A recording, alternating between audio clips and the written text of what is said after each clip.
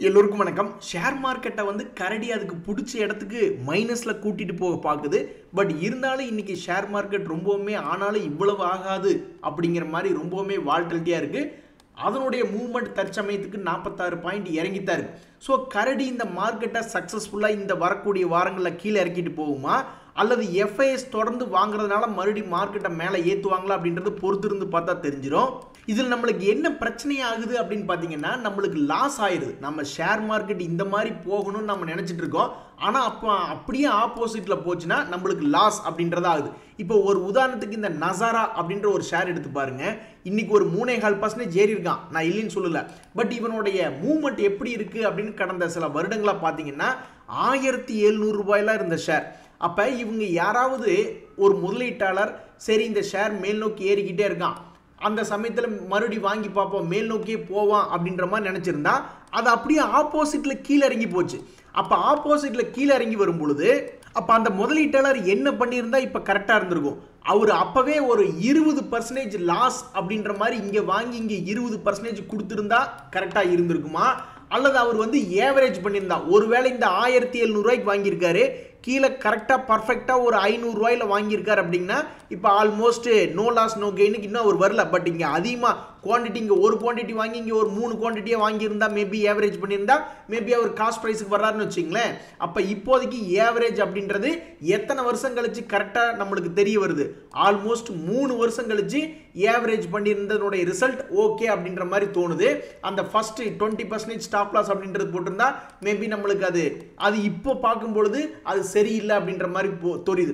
So டைமை பொறுத்து தான் நீங்கள் எடுக்கக்கூடிய முடிவினுடைய ரிசல்ட் டைமை பொறுத்து தான் அப்போவே டுவெண்ட்டி பர்சன்டேஜ் ஸ்டாப் லாஸ் போட்டிருந்தா ஓ பரவாயில்லடா நல்ல வேலை ஐநூறுரூவா இறங்கிடுச்சு நம்ம விற்றது நல்லதாக போச்சு அப்படின்ற மாதிரி அப்போ தோணும். ஆனால் இப்போ எடுத்து பார்த்தா ஏவரேஜ் பண்ணியிருந்தா மேபி ஓரளவுக்கு பெனிஃபிட்டாக இருந்திருக்குமோ அப்படின்ற மாதிரி தோணும். அல்லது அப்போவே லாஸில் வெளியே வந்துட்டு ரீஇன்வெஸ்ட் ஒரு உதாரணத்துக்கு ஆர்வினல் அப்படின்ற ஷேரில் இன்னைக்கு பறக்கிறான். அதில் ஒரு வேளை ரீஇன்வெஸ்ட்மெண்ட் பண்ணியிருந்தா அதுவுமே ஒரு கரெக்டான விஷயமா இருந்திருக்கும்.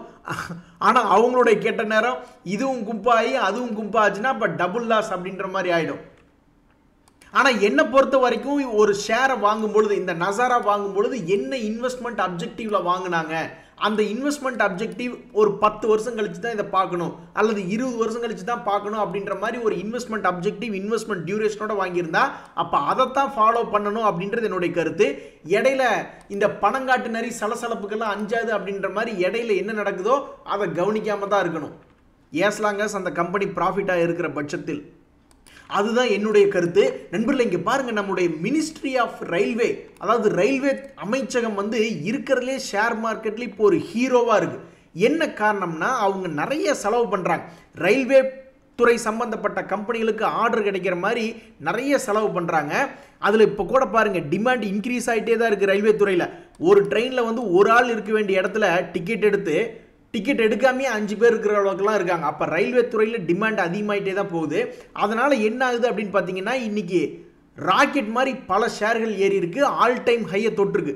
இந்த ஆர்விஎன்எல் ஷேர் ஆகட்டும் ஐஆர்எஃப்சி ஆகட்டும் இர்கான் ஆகட்டும் எல்லாமே லைஃப் ஹை ஆல் டைம் ஹையை பிரேக் பண்ணி ட்ரேட் ஆகிட்டுருக்கு ஸோ இந்த ஷேரை தொடர்ந்து வச்சுருக்கிறவங்களுக்கு ரொம்ப சந்தோஷமான விஷயம்தான். இங்கே தான் ஒரு கான்செப்ட் இருக்குது ட்ரெய்லிங் ஸ்டாப் லாஸ் அப்படின்ற மாதிரி ஒரு கான்செப்ட் அதாவது நான் பார்த்த வரைக்கும் எந்த ஒரு ஷேருமே நிற்காமல் தொடர்ந்து ஏறிக்கொண்டே இருந்து நான் பார்த்ததே கிடையாது. மேபி அவன் ரெண்டு வருஷம் ஏறலாம் நாலு வருஷம் ஏறலாம் பத்து வருஷம் ஏறலாம் பதினோராவது வருஷத்தில் அவனுக்கு ஒரு கும்பா அப்படின்றது பிறந்து வரலாம். இதுக்கு எப்போ பிறந்து வரும்னு யாருக்கும் தெரியாது. ஆனால் இன்றைய தேதியில் யாராவது ஒருத்தர் ஐம்பது ரூபா நூறுரூபா இரநூறுபா அப்படின்ற மாதிரி வாங்கியிருந்தா என்னை பொறுத்த வரைக்கும் அவங்க ஒவ்வொரு ஹையுக்கும் மேல் நோக்கி உடச்சி உடச்சி போகும் பொழுது அவங்களுடைய ஸ்டாப் லாஸை ட்ரெயில் பண்ணிகிட்டே வரணும் அப்படின்றதா ஷேர் மார்க்கெட்டில் ஒரு கான்செப்ட் கடைசியில் லாபத்தை கண்ணில் பார்த்தேன். ஆனால் அது சட்டப்பைக்கு வரல. அன்ரியலைஸ்டு ப்ராஃபிட் அன்ரியலைஸ்டாகவே போயிடுச்சு அப்படின்ற மாதிரி இருக்கக்கூடாது அப்படின்றத என்னுடைய கருத்து. நண்பர்களே நாளைக்கு முக்கியமான ரெண்டு ஐபிஓக்கள் லிஸ்ட் ஆக போகுது. மேக்ஸிமம் டென்டேட்டிவ் டேட் அப்படின்ற மாதிரி கொடுத்துருக்காங்க. அந்த சமயத்தில் இந்த ரெண்டு ஐபிஓக்களும் முதலீட்டாளர்களுக்கு சந்தோஷத்தை கொண்டு வருமா? ஒரு இருபது பர்சன்டேஜுக்கு மேலே ரெண்டு ஷேருமே லிஸ்டிங் கெயின் ஆச்சுன்னா கூட ரொம்ப சந்தோஷம். சில நண்பர்கள்லாம் வந்து இனிமேல் தான் கமெண்ட் பண்ணுவாங்கன்னு நினைக்கிறேன். அலாட்மெண்ட் ஆச்சா இல்லையா அப்படின்ட்டு. அப்படி அலாட்மெண்ட்டும் ஆகி அது ப்ராஃபிட்லேயும் லிஸ்ட் ஆச்சுன்னா உண்மையிலேயே நல்ல ஒரு டபுள் சந்தோஷம் தான் இந்த சமயத்தில் சோபா ஷேர்னுடைய ரைட்ஸ் இஷ்யூக்கு அப்ளை பண்ணியிருக்கீங்களா? அதுக்குண்டான டேட்டுகளை பொறுத்த வரைக்கும் என்னைக்கு லிஸ்டிங் ஆகுது அப்படின்னு பார்த்தீங்கன்னா ஜூலை பதினாறாம் தேதி அந்த ரைட்ஸ் ஒரு வேளை கிடச்சதுன்னா வந்து லிஸ்ட் ஆகும். அவங்க இஷ்யூ அவங்க நம்ம இஷ்யூ பண்ணுற ப்ரைஸ் ரைட்ஸ்னுடைய இஷ்யூ ப்ரைஸ் ஆயிரத்தி அறுநூற்றி ஐம்பத்தி ஒன்று இப்போ கரண்ட்டாக போயிட்டுருக்கிற ப்ரைஸ் ரெண்டாயிரத்தி நாற்பது ஓரளவுக்கு நல்ல ப்ரைஸ் தான் ஸோ யாருக்கெல்லாம் ரைட்ஸ் கிடைக்குதோ அவங்களுக்கெல்லாம் இது ஒரு நல்ல விஷயமா தான் தற்போதைய நிலைமையில் இருக்குது நண்பர்களே பொதுவாக ஷேர் மார்க்கெட்டில் அடிவாரத்தில் ஒரு சப்போர்ட் ரேட்டில் வாங்கி லாபம் பண்ணுவாங்க. அப்படி இருக்கும் பொழுது அவன் நீட்டி படுக்காத கிளியாக இருந்து திடீர்னு ஒரு வெட்டுக்கிளி போல் பறந்ததுன்னா ஒரு மாதத்துக்குள்ளே பதினஞ்சு நாளுக்குள்ளே கூட லாபம் வரக்கூடிய வாய்ப்பு அப்படின்றது இருக்குது இப்போ நான் உங்களுக்கு சில எக்ஸாம்பிள்ஸ் காட்டுறேன். அதாவது ஐடிசி அப்படின்ற ஒரு ஷேர் இந்த ஷேர்லாம் வந்து யாராவது இங்கே கரெக்டாக நோட் பண்ணி சரி ஓகே இது ஒரு ட்ரெண்டிங் கிளியாக அதாவது ஒரு குறிப்பிட்ட வெட்டுக்கிளியாக தான் போய்கிட்டு இருக்கான் ஒரு குறிப்பிட்ட ரேஞ்சுக்குள்ளே ஒருவேளை இங்கே எடுத்தோம்னா ஒரு அஞ்சு பர்சன்டேஜ் கிடைக்கும் அப்படின்ற மாதிரி யாராவது நினச்சி எடுத்திருந்தாங்கன்னா ஒரு பதினஞ்சு இருபது நாளுக்குள்ளேயே அந்த அஞ்சு பர்சன்டேஜ் அப்படின்றது இந்த பெரிய மனுஷன் சம்பாரிச்சு கொடுத்துட்டான். அப்போ அந்த வகையில் இந்த பேட்டனுக்கு ஒரு மரியாதை அப்படின்றது கிடைச்சிருக்கு. அதே மாதிரி தான் எஸ்ஜேவிஎன் அப்படின்ற ஒரு ஷேர் அவனுமே வந்து ஒருவேளை இங்கிருந்து சப்போர்ட் எடுத்து மேல் நோக்கி ஏறினால் எட்டு பர்சன்டேஜ் எல்லாம் கூட ஏறக்கு வாய்ப்பு இருக்குது அப்படின்ற மாதிரியான ஒரு பேட்டர்ன் இந்த பேட்டர்னுக்கு இன்றைக்கி ஒரு மரியாதை ஒரு பதினஞ்சு நாளுக்குள்ளே கிடச்சிருக்கு. இனிமேல் நான் அந்த எக்ஸல் சீட்டெல்லாம் ஓப்பன் பண்ணி ட்ரெண்டிங்கிலி வெட்டுக்கிளின்லாம் காட்ட மாட்டேன். ஏன்னா ஸ்டாக்குகளினுடைய பெயர்களை வந்து எவ்வளவுக்கு எவ்வளவு குறைவாக எக்ஸாம்பிள் மட்டும்தான் காட்டணும் அப்படின்றதான் என்னை பொதுவாக இப்போ மார்க்கெட்டில் இருக்கக்கூடிய கருத்து. ஸோ ஐடிசி எஸ்ஜேவிஎன் போன்ற பங்குகள் சப்போர்ட் ரேட்டில் இருந்தால் இன்றைக்கி பார்த்தோம்னாக்கா ஒரு குறிப்பிட்ட பேட்டர்னுடைய உச்சத்தை அடைஞ்சிருக்கான். இது போன்ற ஸ்டாக்குகளை நீங்கள் தேடி தேடி பிடிச்சிங்கன்னா உங்களுக்கு லாபம் கிடைக்கக்கூடிய வாய்ப்பு அப்படின்றது அதிகம். பட் இந்த வெட்டுக்கிளிகளில் என்ன பிரச்சனைனா இனி ரெண்டு ஷேர் வெளியே போச்சா நீ அடுத்த ரெண்டு ஷேரில் மறுபடி போய் புதுசாக கண்டுபிடிக்கணும். அந்த மாதிரியான உடல் உழைப்பு போடக்கூடிய வேலை தான் இந்த வெட்டுக்கிளி ஷேர்களின் வேலை. நண்பர்களே ரிசல்ட் சீசனுடைய விளையாட்டுகளை ஆரம்பிச்சிட்டாங்க. இந்த மேரிக்கோ அப்படின்ற ஷேர் பாருங்கள் திடீர்னு ஒரு பிளசன்ட் சர்ப்ரைஸ் இந்த ஷேர் வச்சிருக்கிறவங்களுக்கு ராத்திரி ராத்திரியே அஞ்சு பர்சன்டேஜ் ஏறி கொடுத்துருக்கான். என்ன காரணம்னா இவங்களுடைய பிஸ்னஸ் அப்டேட் வருது.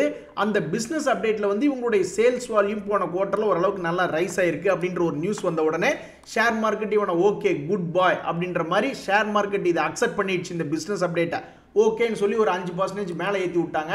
நல்ல விஷயம் தான் ஒலெக்ட்ரா அப்படின்ற ஒரு ஷேர் இன்னைக்கு ஒரு நாலு புள்ளி ஏழு பர்சன்டேஜ் இந்த ஒலெக்ட்ரா கிரீன் டெக் அப்படின்ற ஷேர் ஏறி இருக்கு. இதனால என்ன ஒரு எதிர்பார்ப்பு வருது ஷேர் மார்க்கெட்னா இவனுடைய பழைய கை வந்து தொட்டுச்சுன்னா ரொம்ப நல்லா இருக்குமே அப்படின்ற மாதிரி இந்த ஷேர் ஹோல்டர்ஸ் எல்லாம் விருப்பப்படுவாங்க. அதே மாதிரி வந்து தொட்டுச்சுன்னா ரொம்ப சந்தோஷம். தற்சமயத்துக்கு இந்த ஷேர் என்ன பண்ணியிருக்குன்னா அவனுடைய நீண்ட நெடுங்கால சப்போர்ட் லெவல்ல இருந்து மேல் நோக்கி ஏறி வந்திருக்கான். ஆயிரத்தி ஐநூறுரூவா ரேஞ்சிலேருந்து ஆயிரத்தி தொள்ளாயிரம் வந்திருக்கான். இன்னும் இங்கிருந்து இன்னொரு முந்நூறுரூவா மேலே ஏறி ரெண்டாயிரத்தி இரநூறு தொட்டுச்சுன்னா ரொம்ப சந்தோஷமாக இருக்குன்னு தான் இந்த ஷேர் ஹோல்டர்ஸ் எதிர்பார்ப்பாங்க. அதே மாதிரி வேறு எந்த ஷேர் ஹோல்டர்ஸ் உடனே சந்தோஷமாக இருப்பாங்கன்னா இந்த ஸ்வான் எனர்ஜி தான். ஏன்னா இந்த ஷேரில் திடீர்னு ஓவர் நைட்லேயே டிமாண்ட் வந்து காலையில் ஓப்பனிங்லேயே கேப் அப் ஆகி ஃபைவ் பர்சன்டேஜ் அப்பர் ஃப்ரீஸில் இருக்குது இந்த ஷேரும் தொடர்ந்து மேல் நோக்கி ஏறி வந்துச்சுன்னா அந்த ஷேரை வச்சிருக்கிறவங்களுக்குலாம் ஒரு சந்தோஷம் அப்படின்ற மாதிரி வரும். மீடியாக்களில் பார்த்துட்டு இருந்த நண்பர்களே இந்த மாதிரி ஷில்பம் மெடிக்கேர் மார்க்சன்ஸ் ஃபார்மா அலுவலியா கான்ட்ராக்ட் ஷால்பி பிஇபிஎல் போன்ற ஷேர்கள்லாம் டிஸ்கஸ் பண்ணிருக்காங்க. மேபி அதெல்லாம் வால்டிலிட்டி இருந்தால் ரொம்ப சந்தோஷம். ஆனாலும் யோசிச்சு பாருங்கள் இந்த பிஇபிஎல் அப்படின்ற ஷேர்லாம் இந்த வருட ஸ்டார்டிங்லாம் பார்த்தீங்கன்னா ஆல்மோஸ்ட் எண்பத்தி நாலு ரூபா இருந்த ஷேர் இப்போ அது பணத்தை டபுள் பண்ணி விட்டுருக்கு. நண்பர்களே இந்த சமயத்தில் தான் நம்மளுடைய மார்க்கெட் வீக்காக இருக்கே அப்படின்ற மாதிரி நான் சோகமாக இருந்தேன். பட் இருந்தாலும் இன்னொரு சிந்தனை என் மனசுக்குள்ளே வந்துச்சு. அதாவது ஒரு பந்தை எவ்வளவுக்கு எவ்வளோ தண்ணிக்குள்ளே போட்டு முக்கி விட்டுட்டு அப்புறம் ரிலீஸ் பண்ணோம்னா ரொம்ப வேகமாக ஏறி வரும். ஆக நம்மளுடைய ஷேர் மார்க்கெட்டு திடீர்னு இந்த வாரத்துக்குள்ளே ஏதாவது முந்நூறு நானூறு பாயிண்ட் இறங்கி அப்புறம் அப்படியே திருப்பி ஒரு எட்நூறு பாயிண்ட்டாக ஏறினாலும் சந்தோஷம்தான். அல்லது சைட்வேஸாக நீட்டிப்படுத்திருந்தாலும் சந்தோஷம்தான். இந்த ரெண்டுமே சந்தோஷம்தான். மார்க்கெட் ஏறுற மாதிரி இருந்ததுன்னா அது எப்போவுமே கடந்த பதினஞ்சு ஒரு மாதமாகவே நடக்கிறது தானே அதனால் மேலே ஏறி வந்துச்சுன்னா எந்த விதமான ஒரு கிக்கும் கிடையாது. நண்பர்களே மார்க்கெட்டில் இன்னொரு விஷயத்தை கவனிச்சிங்களா? வர வர கடன் வாங்க போகிறோம் அப்படின்ற செய்திகளுக்கு எல்லா ஷேர்களுமே பெரும்பாலும் ஏறதில்ல. இப்போ கூட ரீசெண்டாக இந்த அதானி எனர்ஜி சொல்யூஷன் ஷேர்ஸில் கடன் வாங்க போகிறாங்க அப்படின்ற ஒரு நியூஸ் வந்துச்சு. அதாவது ஃபண்ட் ரைஸ் பண்ண போகிறாங்க அப்படின்ட்டு. ஆனால் அந்த நியூஸ் வந்து கடந்த ஒரு மாதமாக பாருங்களேன் எந்த விதமான பெருசு மூவ்மெண்ட்டே இல்லை சமீபத்தில்.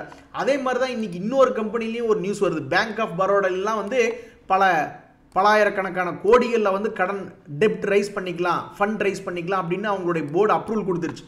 ஆனால் இந்த மாதிரி நியூஸ் வந்தோடனே என்ன ஆகணும்? பொதுவாக ஷேர்ஸ் பறக்கணும்.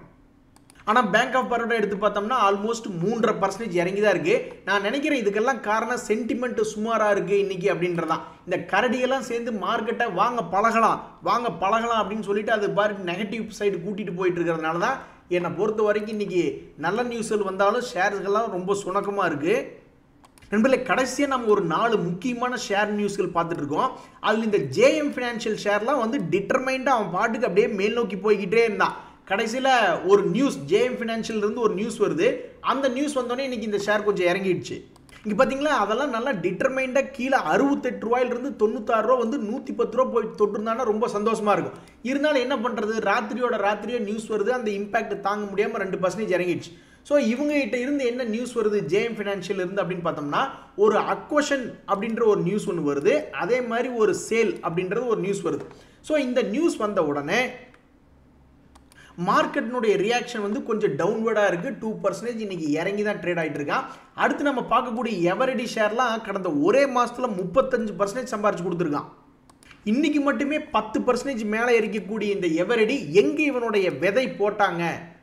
அதாவது மேல் நோக்கி ஏறக்கூடிய விதை எங்கே போட்டாங்கன்னு பார்த்தீங்கன்னா இவனுக்கு இதுதான் வேலை. இந்த எவரிடி ஷேர் கடந்த ஒன்றரை ரெண்டு வருஷமாவே என்ன பண்ணுறான்னா சப்போர்ட் வந்தால் ஏறிட வேண்டியது. சப்போர்ட் வந்தால் ஏறிட வேண்டியது. சப்போர்ட் வந்தால் ஏறிட வேண்டியது. இப்போ கூட பாருங்கள் ரெண்டாயிரத்தி இருபத்தி நாலில் ஓகே இது வந்து மறுபடியும் சப்போர்ட் லெவலில் வந்து விழுந்திருக்கு அப்படின்னு யாராவது கெஸ் பண்ணி ஓகே அப்படின்ற மாதிரி இது ஏதாவது டச் பண்ணியிருந்தாங்கன்னா இன்றைக்கி ஆல்மோஸ்ட் ஒரு மாதத்துக்குள்ளேயே முப்பது பர்சன்டேஜ் பக்கம் லாபம் அப்படின்றது வந்திருக்கு. இது மாதிரி வேறு ஏதாவது ஷேர்கள்னால் ஒவ்வொருத்தரும் போய் தேடி தேடி பார்க்கணும். ஒரு உதாரணத்துக்கு எக்ஸாம்பிளுக்கு இந்த ஆல்கெம் அப்படின்ற ஒரு ஷேர் இந்த ஏல்கெம் அப்படின்ற ஒரு ஷேர் கூட சமீபத்தில் சப்போர்ட்லேருந்து கொஞ்சம் கொஞ்சமாக நகர்ந்துட்டு இருக்கா. மறுபடியும் என்னைக்காவது போய் ஐயாயிரத்தி ஐநூறு போய் தொட்டான்னா இவனும் ஒரு எவரடி மாதிரி ஆல்கமும் ஒரு பத்து பர்சன்டேஜ் அப்படின்ற சம்பாதிக்கக்கூடிய இடம் அப்படின்றது கிடைக்கும். ஆக மொத்தம் இதுலேருந்து என்ன தெரியுதுன்னா ஷேர் மார்க்கெட்டில் நல்ல ஷேர்களாக பார்த்து ஏறக்கூடிய ஷேர்களாக பார்த்து எப்பெல்லாம் சப்போர்ட்டில் இருக்கானோ அப்போல்லாம் பணத்தை போட்டுக்கிட்டே இருக்கணும். நண்பர்களே ஆரம்பத்திலேயே பார்த்தோம். ஆர்விஎன்எல் ஷேர்லாம் அடங்காமல் அப்படியே ஏறிக்கிட்டே இருக்கான் அதில் எதனால் அப்படின்ட்டு. ஆனால் ஏதாவது ஒரு சமயத்தில் அது இறங்கும் பொழுது எப்படி இருக்கும் அப்படின்னு பார்க்க விரும்புறீங்களா? இன்னைக்கு டைட்டன் அப்படின்ற ஷேர் நாளை கால் பர்சன்டேஜ் இறங்கியிருக்கான் அதுக்கு காரணம் அவனுடைய பிஸ்னஸ் அப்டேட் அப்படின்றது பார்க்கும் பொழுது பொதுவாக எல்லாருமே என்ன யோசிப்பாங்கன்னா ஒரு கம்பெனியினுடைய க்ரோத் வந்து ஒரு டுவெண்ட்டி பர்சன்டேஜுக்கு மேலே இருந்தால் ரொம்ப சந்தோஷம் அப்படின்ற மாதிரி இருப்பாங்க. பட் இது டிசிஎல்னுடைய ஸ்டாண்டர்டன் வந்து நைன் பர்சன்டேஜ் தான் போன இயர் ஆன் இயர் குவார்டர் க்ரோத்தில் வந்திருக்கு. அப்போ இதனால் என்ன ஆகுது அப்படின்னு பார்த்தீங்கன்னா ஏற்கனவே இந்த கம்பெனி எப்படி இருக்குன்னு பாருங்கள் ஒரு மொமெண்டம் ஃபெயில் ஆகும் பொழுது. இதுக்கு முன்னாடியே இந்த ஷேரில் ரெண்டாயிரத்தி இருபதுலேருந்து ரெண்டாயிரத்தி இருபத்தி ரெண்டு வரைக்கும் மொமெண்டம் இருந்தது. அப்புறம் இறங்குனா அப்புறம் மறுபடியும் மொமெண்டம் பிடிச்சா இறங்குனா அப்புறம் மறுபடியும் மொமெண்டம் பிடிச்சா இப்போ கொஞ்சம் இறங்கியிருக்கான் அப்போ இதுக்கு முன்னாடி எவ்வளவு தூரம் இறங்குனா மொமெண்டம்லேருந்து இதுக்கு முன்னாடி நாற்பது பர்சன்டேஜ் இறங்கி இவனுக்கு ஒரு அட்ராக்ஷன் அப்படின்றது வந்துருக்கு. அப்போ இப்போவும் நாற்பது பர்சன்டேஜ் இந்த கம்பெனி இறங்கணும் அப்படின்ற மாதிரி இருந்ததுன்னா ஆல்மோஸ்ட் ஒரு ரெண்டாயிரத்தி முந்நூறுரூவா அதாவது ரெண்டாயிரத்தி இருபத்தி மூணில் இருக்கக்கூடிய ரேட் வந்துச்சுன்னா மேபி இந்த கம்பெனிக்கு ஒரு அட்ராக்ஷன் வந்ததுன்னா ரொம்ப சந்தோஷமாக இருக்கும். இப்போ மூவாயிரத்தி நூறு இருக்குது அப்படியே தொப்புன்னு கீழே விழுந்து ரெண்டாயிரத்தி இரநூறு வந்துச்சுன்னா மேபி நிறைய பேர்த்துக்கு சந்தோஷமாக இருக்கும். புதுசாக வாங்க போகிறவங்களுக்கு இந்த சமயத்தில் என்எல்சி இந்தியா அப்படின்ற ஷேரில் ஒரு நியூஸ் வந்திருக்கு.